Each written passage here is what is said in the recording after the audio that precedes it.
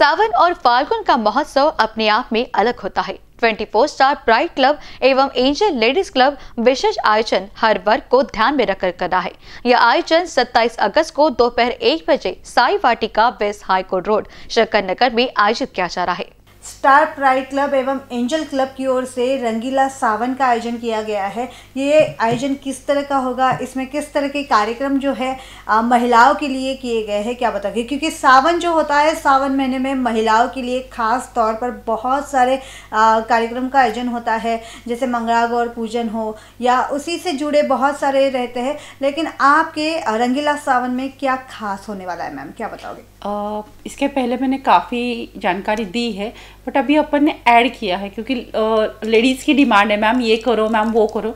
तो अभी अपन ने लेडीज़ को एंटरटेन के साथ में खाना, पीना, उसके साथ उनके हेल्थ का भी ध्यान रखा है। अपन ने वहाँ पे बीएमआई टेस्ट रखा है ऑक्सीजन टेस्ट फ्री रखा है। और उसके अलावा भी ऐसा हो गया है कि मैम हम मॉर्निंग से आएँगे, फिर दोपहर में जाएँगे तो अपन ने उसमें क्या, हमको क्या, जो देखने के लिए आ रही, उनके लिए क्या दे रहे हैं? जो पार्टिसिपेट है, उनको तो गिफ्ट और प्राइज है, पर बाकी के लोगों को क्या मिलेगा? तो अपन ने उसके लिए भी एक्साइटमेंट रखा है। उनके लिए पैठनी रखी है लकी ड्रॉ निकालेंगे अपन। दो पैठनी रखी है एक मॉर्निंग सेशन में निकलेगा, एक इवनिंग सेशन में निकलेगा। उसके अलावा अपन ने एक नया कंसेप्ट रखा है। आजकल बहुत चल रहा है बाईपन भारी देवा। तो उस मूवी से सारी लेडीज़ इंकरेज हो गई और सावन का महीना है महाराष्ट्रियन लेडीज़ को पता है कि मंगला गौर क्या रहती है। तो वो कहती है कि मैम, हमको मंगला गौर कॉम्पिटिशन रखो। तो मंगला गौर कॉम्पिटिशन में भी अभी नागपुर में अभी तक कॉम्पिटिशन नहीं हुआ है। मंगला गौर के प्रोग्राम्स हो रहे हैं बट कॉम्पिटिशन लेवल में कोई ग्रुप एक दूसरे के साथ नहीं जुड़ा है। तो अपने वो सबसे ज़्यादा एक्साइटमेंट वो रहेगी कि लेडीज़ एक दूसरे के ग्रुप में कैसे पार्टिसिपेट करके एक बड़ा, काफ़ी इंट्री अपन ने एक ग्रुप में दस इंट्रीज दी है, दस लेडीज़ को, और उसमें कैश प्राइज रखा है अपन ने।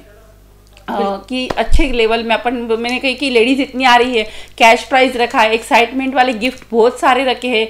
हर एक घंटे बाद अपन गिफ्ट ओपन करते जाएँगे करते जाएँगे कितनी लेडीज़ लकी विनर बनती है। अपना ऑलमोस्ट स्टॉल बुकिंग फुल हो चुका है मतलब एक भी स्टॉल अवेलेबल नहीं फुल हो चुका है कहने से अच्छा एक भी नहीं अपने को रिस्पॉन्स काफ़ी अच्छा है फ़र्स्ट टाइम कर रहे हैं बट काफ़ी बड़ा रिस्पॉन्स मिला है। बिल्कुल।